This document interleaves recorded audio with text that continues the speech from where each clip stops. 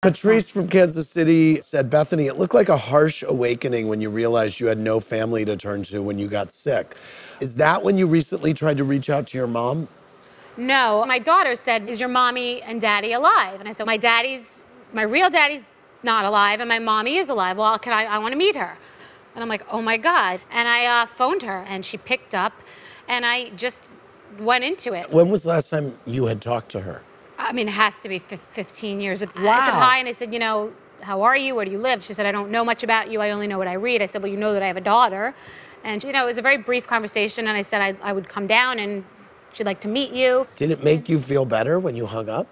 It was a very intense week. A lot, a lot of changes happened recently.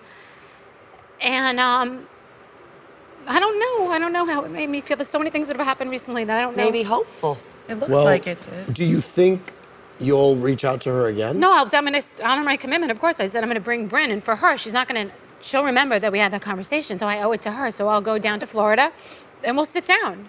So um, I think it's a brave thing you're Yeah, gonna do it and a good thing for your daughter. Well, you had another huge moment, I know, recently, which is you visited your apartment for the first time that you and Jason moved in to. look at this room. It's a home. This is like a home in the Hamptons in Manhattan. oh my god. Dun dun dun dun.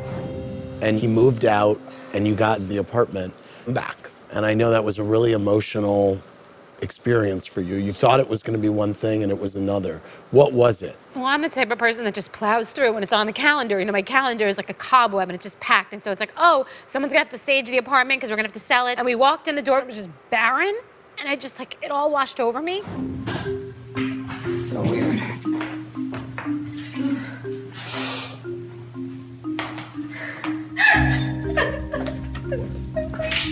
oh my god, I can't believe it's over. oh my god.